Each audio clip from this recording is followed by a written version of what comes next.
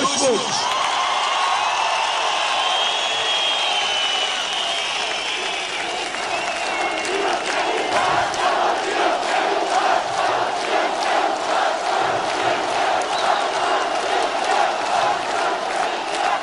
Hiç merak etmeyin. Bu ülkede ayrımcılığı sona erdireceğiz. Kadın erkek ayrımcılığı olmayacak. Sağcı solcu ayrımcılığı olmayacak. Alevi Sünni ayrımcılığı olmayacak. Türk Kürt ayrımcılığı olmayacak. Başı açık, başörtülü ayrımcılığı olmayacak. 81 milyonu kucaklayan bir cumhurbaşkanı. Kavga eden değil, gelecek diyen bir cumhurbaşkanı. Uzay madenciliği diyen, nanoteknoloji diyen, uzay turizmi diyen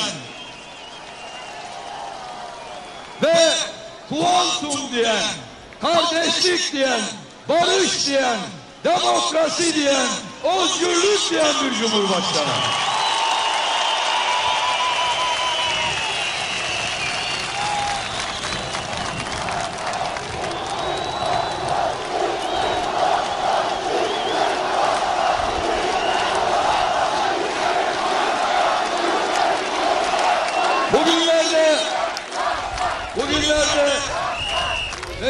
Rakibim meydan meydan geziyor bir şey söylüyor. Arife günü Arife günü Yalova'ya gelmiş. Yalova'da Bay Muharrem diyeceği yerde Bay Erdoğan dedi. Ben de ona Sancaktepe'den Bay Bay Erdoğan diyorum. Bay Bay Erdoğan.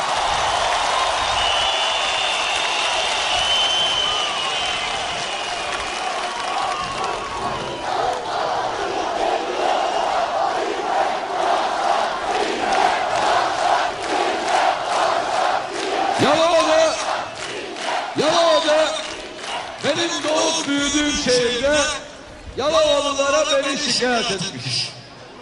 Şikayetini anlatayım. Şikayeti şu.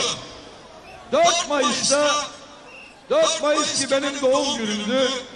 O gün Cumhurbaşkanı adayı oldum.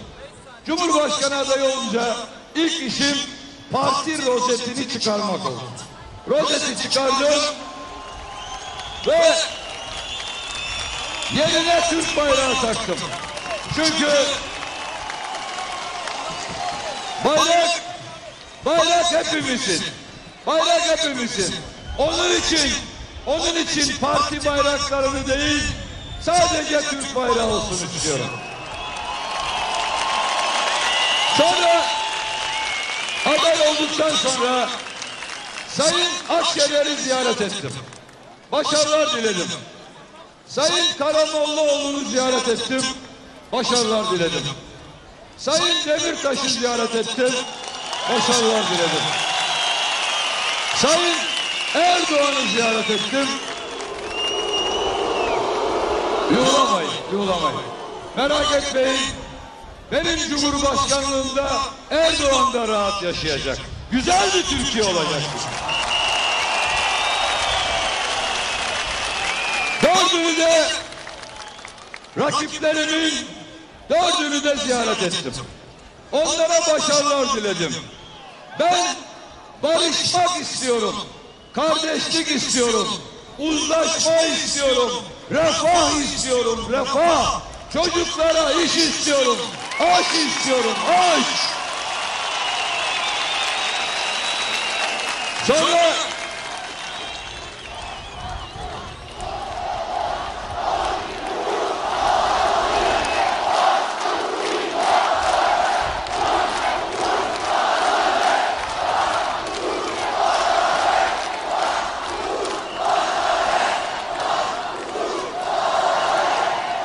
Sonra sonra dedim ki ya bu yetmez.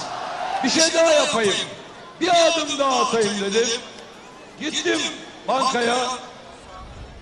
Rakiplerimin hesabına beşer yüz lira para yatırdım. Amacım, amacım, amacım siyaseti yumuşatmak. Amacım Türkiye'yi barıştırmak. Yoksa onların tabii ki benim 500 lirama ihtiyaçları yok. Şimdi Erdoğan meydanlara geliyor. Diyor ki Demirtaş'ı ziyaret ettim. Ettim. Sana mı soracağım? Sana mı soracağım? Yani ya ben bu memleket için, bu millet için seni bile ziyaret ettim. Daha ne yapayım? Seni bile. Kimseden, hiç kimseden izin alacak halim yok. Ben doğru yaptığıma inanıyorum. Çünkü bu milleti barıştırmak istiyorum, barıştırmak.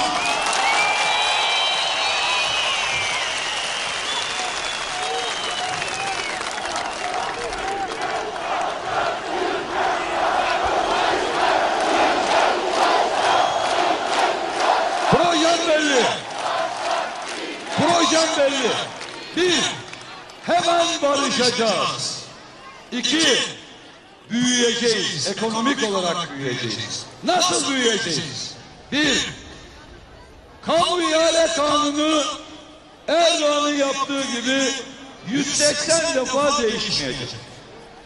İki, iki, zeytinyağını dökme olarak satıp İtalya'da şişeletip bizden bir liraya alıp İtalyanların 20 liraya satmasına izin vermeyeceğiz. Üç, üç, sanayimizin dörtte biri atıl. Onu devreye sokacağız. Meralarımızı, tarım alanlarımızı kullanacağız. İnsan kaynaklarımızı heba etmeyeceğiz. Merkez Bankası Başkanı'nı parti genel merkezine çağırmayacağım. Halk Bankası'nı, Ziraat Bankası'nı yapılandıracağız. Çiftçinin borçlarının faizini sileceğiz. Esnafın borçlarını yeniden yapılandıracağız. Çiftçinin borçlarının faizini sileceğiz. Esnafın borçlarını yeniden yapılandıracağız. Gençleri iyi eğiteceğiz gençleri, iyi. İyi eğiteceğiz.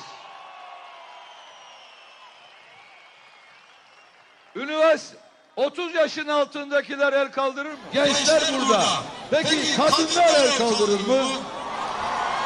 Mükemmel. Mükemmel.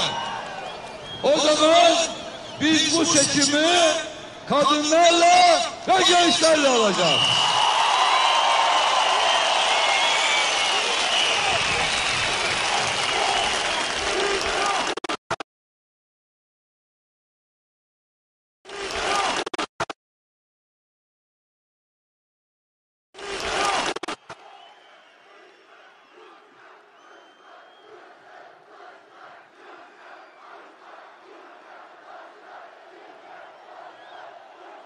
Şu anda şu anda 100 kadından 32'si çalışıyor. Kadınların çalışmasındaki en büyük engel çocuk bakımı. Hani arkadaş diyor ya her mahalleye bir kıraathane açacağım. Ben de ben de diyorum ki her mahalleye bir kreş açacağız. Kreş. Bu kreş ucuz olacak, ucuz. Bu kreş uzmanlardan oluşacak. Gönül rahatlığıyla çocuğunu bırakacaksın. Gönül rahatlığıyla. Sloganımız şu. Çocuk kreşe, kadın işe.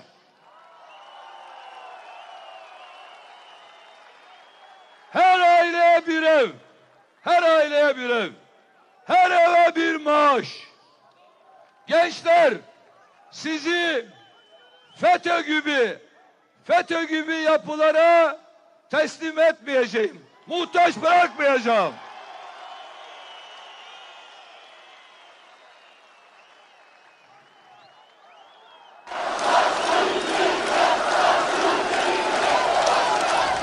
Geçen gün bir atanamamış öğretmen Erdoğan'a diyor ki atanamadık. Git diyor seni Kılıçdaroğlu atasın diyor. Fizik öğretmeni olarak atanamayan öğretmenlere sesleniyorum. Muharrem abiniz hepinizi atayacak sizin. Hepinizi.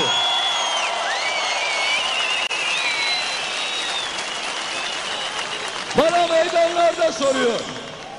Bana meydanlarda soruyor. Parayı nereden bulacaksın diyor. E söyleyeyim Erdoğan. Suriyelilere 40 milyon nereden? Bana meydanlarda soruyor. Parayı nereden bulacaksın diyor. E söyleyeyim Erdoğan. Suriyelilere 40 milyar doları nereden bulduysan ben de oradan bulacağım.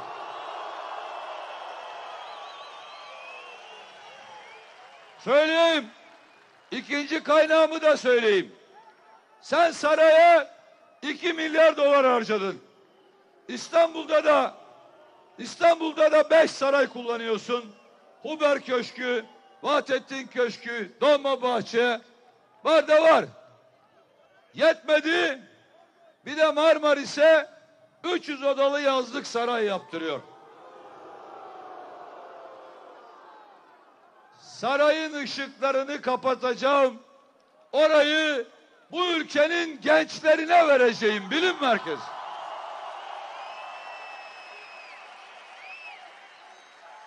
Yalnız Ankara'daki sarayı gençlere vereceğim. Marmaris'teki yazlık sarayı engelli kardeşlerime vereceğim.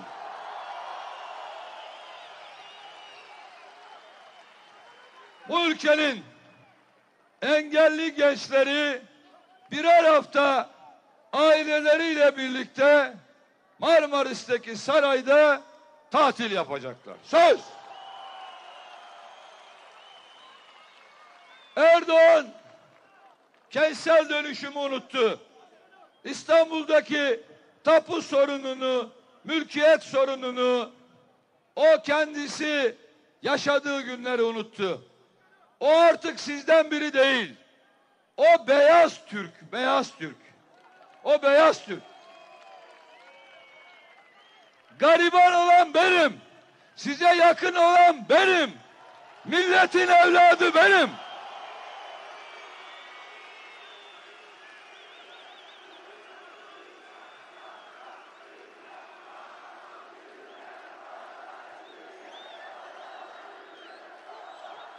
Bu ülkeyi bu ülkeyi kalkındıracağız. Özgür bir ülke olacak, özgür.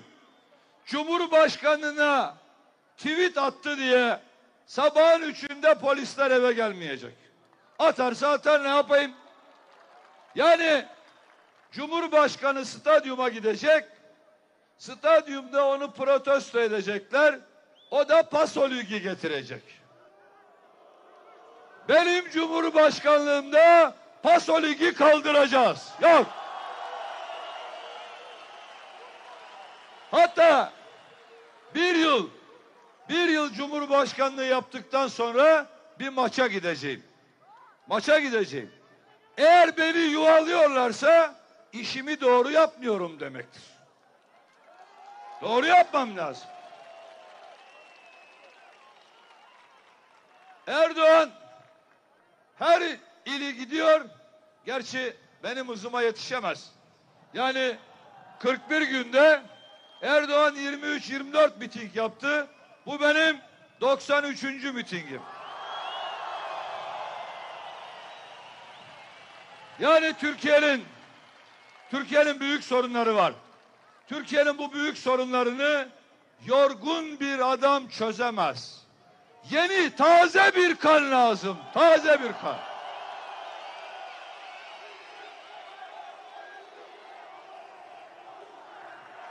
Meydan meydan geziyor.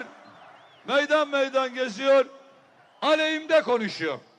Bana diyor ki çırak. Çakma usta ya çakma usta. Erdoğan sana bir teklifim var. Bak her yerden yineliyorum. Televizyonları izleyip benim mitinglerimdeki televizyonları izleyip benim mitinglerimdeki kalabalığı görünce arkadaşların sana şöyle diyor olabilir. Muharrem İnce onları oraya taşıdı. Yanlış bilgi verebilirler. Erdoğan bak burada bir tane taşıma yok. Hepsi gönüllü burada. Hepsi gönüllü.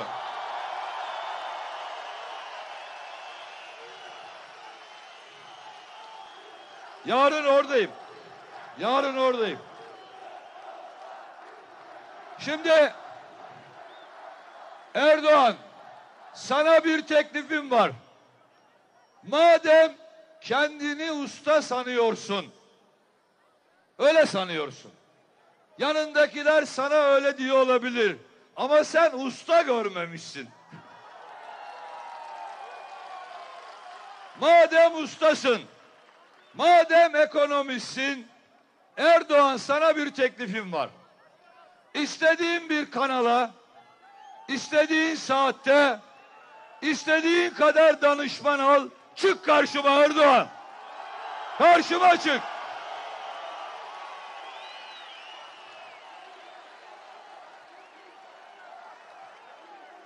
Karşıma çıksın mı? Gelsin mi? Gelebilir mi? Hala umudum var. Yani şöyle diyebilir. Nasıl olsa kaybediyorum.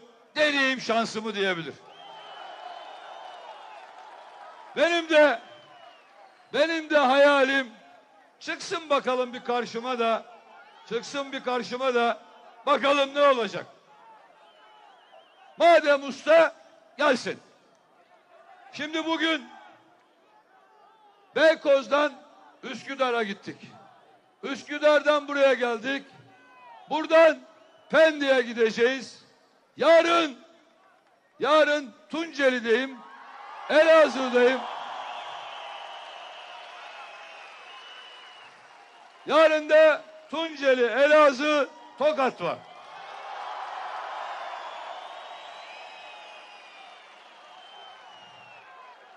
Erdoğan her mitinginde aynı cümle.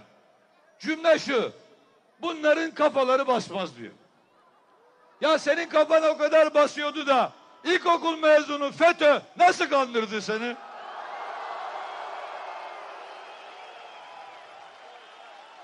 Nasıl kandırdı?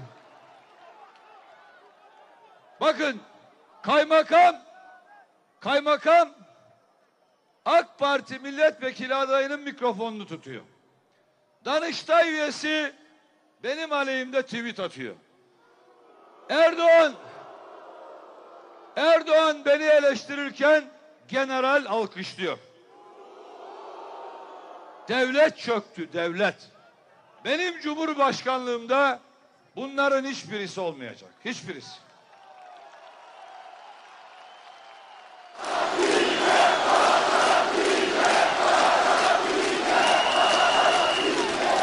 Ama henüz daha başkan seçilmeden memlekete faydalarım oldu.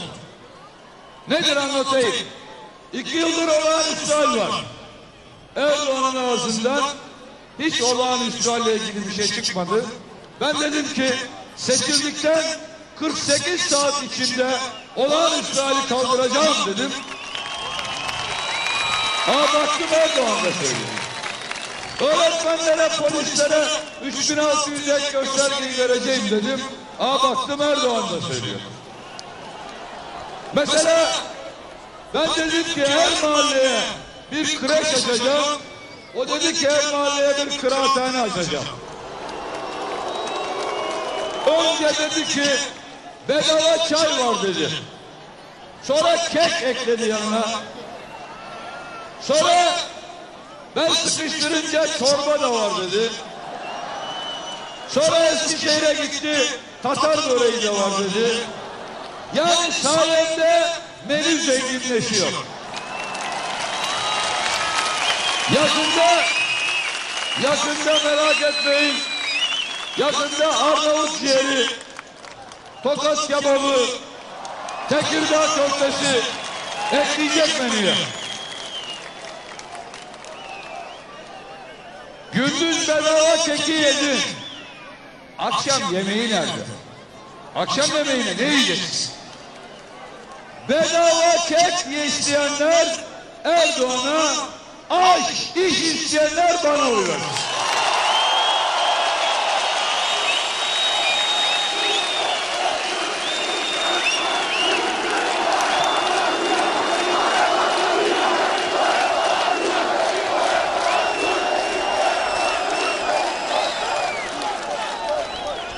Şimdi hep birlikte 24 Haziran'da sandık başında olacağız. Ondan önce yapacağımız bir iş var. Ondan önce yapacağımız iş şu. Bir, herkes üç kişiyi ikna edecek. Söz mü? Söz ama. Amcaoğlu, dayıoğlu, hala kızı, teyze kızı, komşu, berber, manav, herkes, herkes üçer kişiyi anlatacak. Yani yalan söylediler mi? Söylediler. Haram yediler mi? Milleti böldüler mi? İnsanları dinden soğuttular mı? Sahte belge ürettiler mi? İftira attılar mı? Hepsini yaptılar. Hepsini yaptılar. Bunları anlatacaksınız. İki, tatil matil yok. Herkes oy kullanmaya. Söz mü? Üç, oyunu kullandın. Ne yapacaksın? Eve gitmek yok. Okulda bekleyeceksin. Orası bitti. Sonra ne yapacaksın? İlçe seçim kuruluna. İlçe seçim kurulunda orada duracaksın. Ha yüksek seçim kurulunda bir numara olur mu? Merak etmeyin Muharrem İnce orada olacak.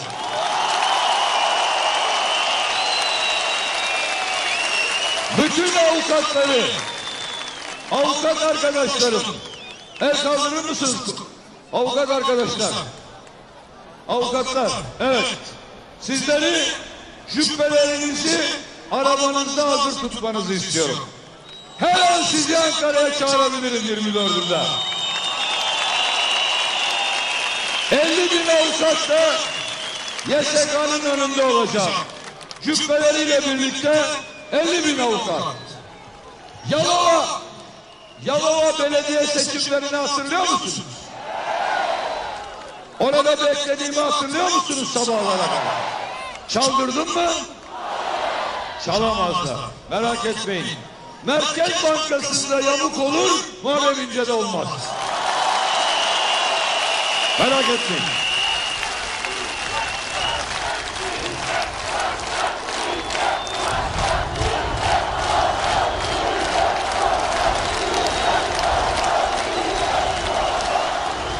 Her iktidarın bakınız Türkiye'de bir siyasi parti iktidara geldi mi o iktidarın makbul gördüğü, değerli gördüğü bir kesim oluyor.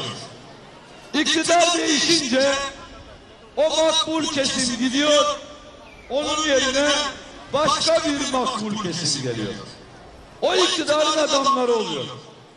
Bu bu yapıyı sona erdireceğim. Benim Cumhurbaşkanlığımda 81 milyon makbul insan olacak herkes. Size size şunun sözünü veriyorum. AK Partili kardeşlerim, MHP'li kardeşlerim, HDP'li kardeşlerim, İyi Partili kardeşlerim, CHP'li kardeşlerim, Saadet Partili kardeşlerim. Hepinizi seviyorum, hepinizi.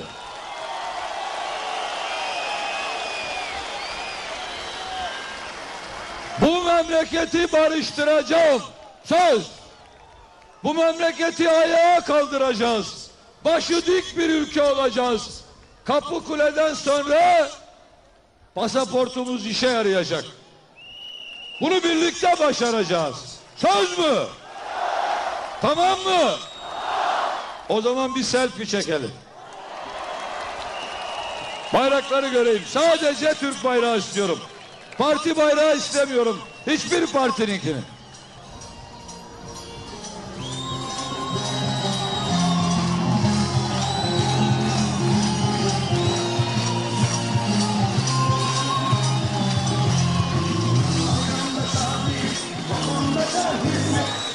Hepinize